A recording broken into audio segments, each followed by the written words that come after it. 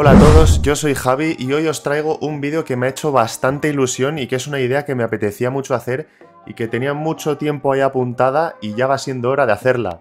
Lo primero, espero que el 2023 sea igual o mejor vamos que el 2022 y que vaya todo genial, vamos. Así que vamos con el vídeo ya.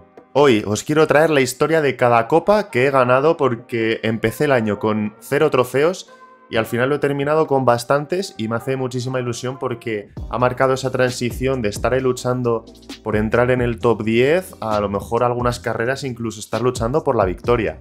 Ya os digo que no son muchas, empezaré por orden y la primera es esta copa tan mona, tan pequeñita aquí. A ver, os la pongo así para que la veáis bien. Pone segundo clasificado en Enacard. Y esta copa eh, es del trofeo de Navidad de Nacart en el 31 de diciembre, que fue, no, bueno, fue de 2021, pero hacemos, el, hacemos la vista gorda, porque es mi primera copa en una carrera de 10-12 minutos que quedé segundo detrás de Germán, de hecho. Está subida al canal, os la pondré por aquí para que la veáis las tarjetitas, porque la verdad fue muy emocionante. Salí tercero, adelanté al segundo y de ahí pues ya no me quitó nadie, sí que es verdad que tuve un poquito de distancia con el tercero y el tercero me iba recortando vuelta a vuelta, ¿eh? o sea que unas vueltas más igual acabamos tercero y no segundo.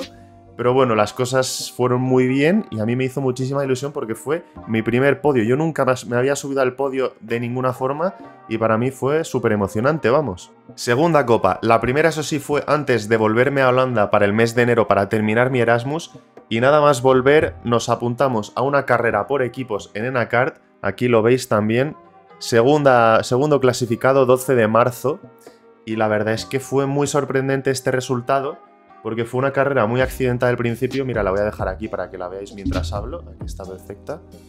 Y fue una, una, carrera en la que se tuvo que repetir la salida porque hubo un accidente y se lió parda. Y durante toda la carrera estuvimos con muy buen ritmo, pero estuvimos luchando por la quinta posición. De hecho, cruzamos la meta quintos.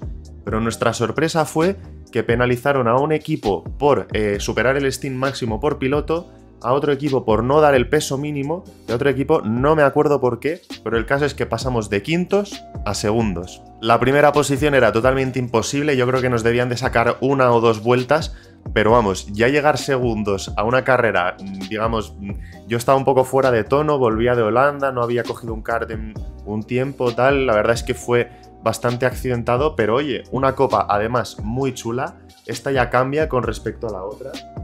Esta ya cambia, mirad, es que os la puedo enseñar aquí sin, sin recortar. Está muy muy bien esta copa.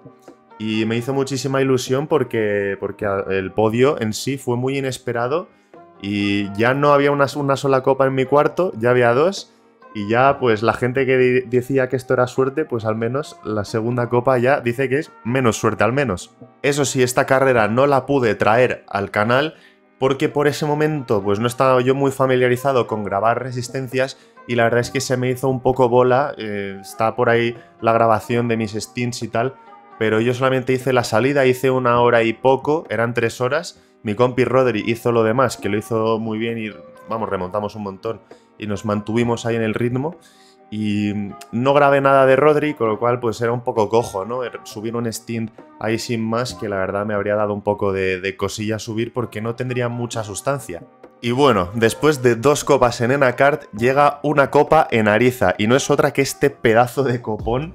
Madre mía, esto es eh, inmenso. Yo la verdad es que a veces no sé dónde dejarlo en mi cuarto. De hecho, aquí tiene un golpe, tiene varios golpes aquí por, yo qué sé, por estar limpiando y que se me cae o lo que sea, porque claro, es, es hueco y digamos que cuesta mucho dejarlo por ahí. Lo voy a poner aquí, a ver si, si no me tapa mucho la cara. Pero esta carrera fue muy chula, a ver, aquí mejor. Esta carrera fue muy chula porque hicimos la pole, la hizo Edu y Fran, y luego nosotros hicimos el, el tercer puesto. Rodri hizo el tercer puesto y en la salida estuvimos ahí luchando todo el rato, pero en las primeras dos vueltas tuvimos un montón de movidas y Rodri quedaba, o sea, estaba último. Tras dos vueltas estaba último Rodri. Pero bueno, en la radio estuvimos ahí tranquilos, estuvimos intentando calmarnos un poco, tiramos para adelante, Rodri hizo su stint, a mí me tocó un verdadero avión y remontamos muchísimo y llegamos creo que segundos. Y luego Rodri cogió el car para hacer los últimos 10-15 minutos, con tan mala suerte de que llegó Creatia, nos adelantó y nos quedamos, pues en vez de segundos, terceros. Igualmente, cuando nos bajamos del car, no nos lo creíamos, no vamos, estábamos 100% seguros de que había habido un error, pero al final el resultado oficial pues que, fue que quedásemos terceros, sobre todo que nos llevásemos esta copa, que nada más llegar al circuito vimos las copas y dijimos, joder, qué guapas, ¿eh? ¿Cómo molaría llevarse una casa? Pues mira, nos la llevamos. Poco más que comentar de esta copa, ya veis que es metal del bueno, vamos, con esto me puedo hacer yo aquí un barco si quiero. Y vamos a por la siguiente. Siguiente copa, llegamos a un día mítico en el canal, ¿eh? La verdad, primera copa de este día fue la segunda posición en el campeonato de Nakar Dry Wet, mitad seco, mitad mojado. Aquí se puede ver. Este formato mola un montón porque es una carrera en la que la curva eh, de izquierdas de Nakar está totalmente mojada, con aspersores y demás. Y la verdad es que mm, en, una, en, una, primera carrera se me lió un poco el tema porque no, sé si recordáis, están en el canal los dos vídeos. En la primera carrera eh, se me hizo un poco durilla y creo que quedamos octavos o así. Pero bueno, en la segunda carrera se me dio muchísimo mejor. También mm, tampoco fueron eh, parte de los pilotos que fueron a la primera, con lo cual pues ya sabemos cómo funciona todo esto. Pero al final eh, conseguí hacer una carrera muy buena, estuve arriba todo el rato luchando por la victoria en todos los momentos y al final pues se me dio de puta madre. Aquí está la copa y algo muy destacable de esa carrera es que Mm, a mí yo creo que me perjudicaba el hecho de que resbalase mucho. Y como no resbalaba tanto porque estábamos en pleno julio, yo creo julio, junio o agosto, pero vamos, eh, hace un calor de narices y se secaba muy rápido la pista, entonces no se mojaba tanto y eso a mí yo creo que me benefició mucho. Cosa que en la primera carrera no pasó. Pero aquí vemos la copa. La verdad es que las copas de Nakart están muy curradas y la verdad es que tremendamente contento de traeros esta copa, pero es que este día, por eso decía que era mítico, porque en un día hice dos carreras, voy a dejar esta por aquí, y vino esta otra de Santos. Aquí lo veis, es un Iron Man, es hecho con impresión 3D. Esta copa yo creo que es la que más ilusión me ha hecho ganar mm, desde siempre porque es una carrera individual, que las carreras individuales significa que tú te lo guisas y tú te lo comes, y fue una carrera en la que tuvimos que remar desde el principio un montón de tiempo, la verdad. Fue muy muy emocionante, yo de hecho me bajé del car súper emocionado, porque hice cual y séptimo, estuvimos luchando por la quinta, cuarta posición todo el rato en el grupo de delante, pero yo sabía que mi kart no podía tirar más de lo que iba a tirar ya, porque los demás estaban estirando mucho y yo en recta me quedaba un pelín atrás. Mi car iba muy bien en curva, pero en recta yo creo que me, costaba un pelín. ¿Qué pasó? que incluso mi padre me dijo que no lo hiciera porque estaba en la radio conmigo, decidí parar a la media hora. Y casi, casi, casi la lío en boxes porque estaba todo el mundo parado y casi pierdo un montón de tiempo. Pero aún así paré y cambié de kart. El kart que me tocó yo creo que era muy bueno también, o sea, era un poquito mejor que el anterior, aunque yo creo que no era un avión, la verdad, porque he cogido cars en Santos que van solos y van perfectos, pero este no fue el caso. De hecho, además, en esta carrera hubo muchísima igualdad. Yo creo que estábamos en una décima los 15, los 10 primeros, una locura, o dos décimas. Y el caso es que estuve una hora y media tirando yo solo, la verdad fue un proceso bastante complicado, había que estar súper concentrado y yo sabía que tenía las posibilidades de llegar al podio si no había muchos doblados, si no, me, si no perdía mucho tiempo en luchas. De hecho aquí mando un abrazo a Martín que me estuvo también, estuvo yendo detrás de mí todo el rato y hubo una vez que tuve un error, me adelantó, pero enseguida me volvió a dejar pasar porque yo creo que íbamos los dos más rápido así, él cogiendo los rebufos y yo intentando tirar a muerte. Ya os digo que estuve una hora y media de stint porque eran dos horas de carrera, una hora y media estaba tirando, bueno, increíble. Y de hecho, ese es el vídeo que más visitas tiene del canal, que no me atrevo a decir cuántas tiene ahora, pero creo que tiene 5 o 6 mil. La pondré por aquí en la tarjetita. Y para vosotros, ya os digo, para mí un auténtico carrerón y además gané 6 tandas gratis en Santos, que oye, está muy bien y yo creo que es un ahorro de 75 euros. Os vuelvo a enseñar el Ironman, además es que el trofeo en sí es precioso, tercer clasificado aquí, compartí podio con Alberto y con Gonzalo, que hicieron un carrerón brutal.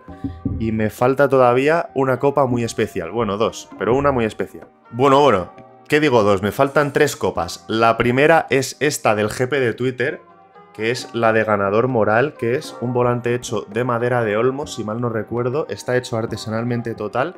Aquí se puede ver ganador moral GP de Twitter, grupo 1.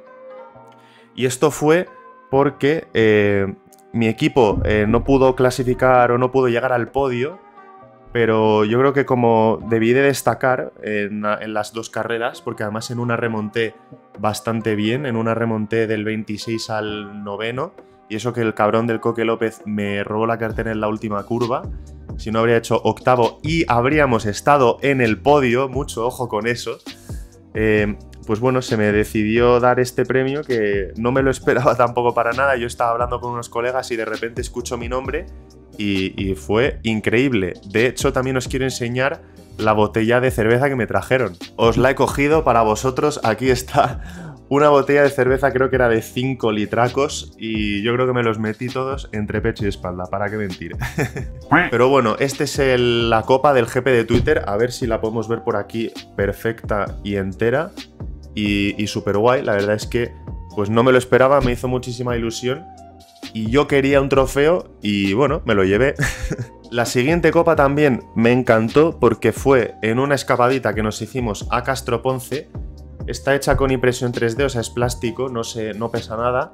Y la verdad es que, independientemente de la apariencia, lo que significa para mí es muy importante porque fue una carrera, digamos, loquísima. O sea, se rompían los cars, eh, no habíamos hecho nunca este tipo de paradas en boxes y demás. La verdad es que fue muy, muy, muy entretenida, muy divertida y la dirección del circuito nos trató muy bien.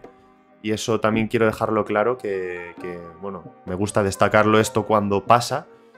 Y en sí la carrera fue muy guay. Era un circuito que no conocíamos, fuimos con nuestros amigos del GP de Twitter también. Fue muy divertida, como os digo, bastante tensa en algunos momentos y estuvimos luchando pues por ganar hasta que la liamos en boxes un par de veces con varias cosas que perdimos dos minutos de carrera y al final pues eh, al menos no nos, salimos del podio, aunque nos podrían haber echado del podio perfectamente después de lo que hizo Frank, que montó una escabechina ahí de tres pares, vamos.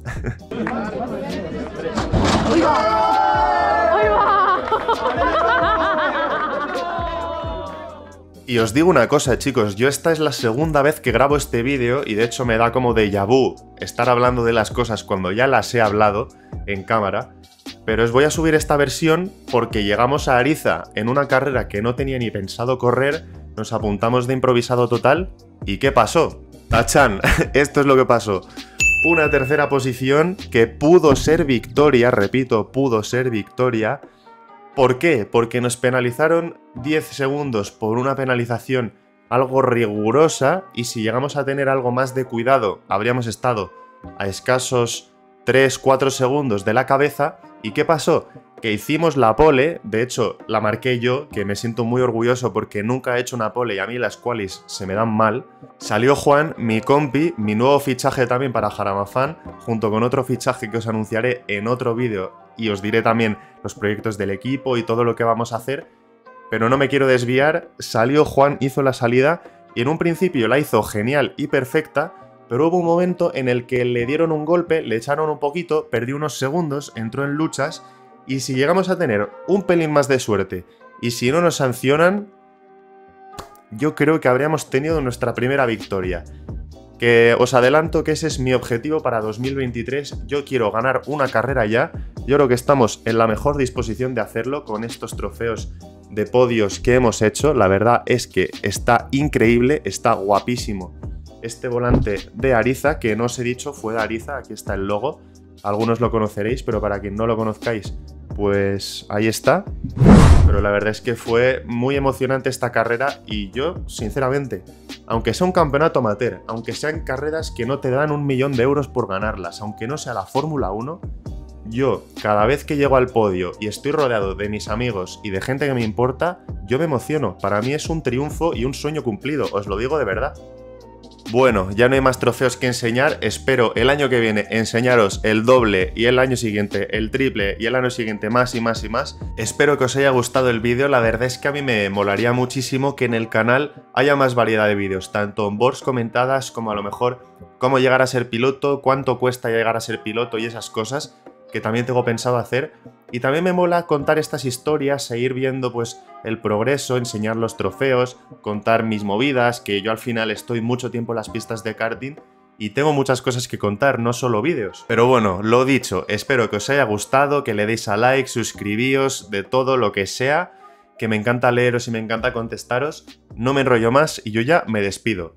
Venga, hasta luego.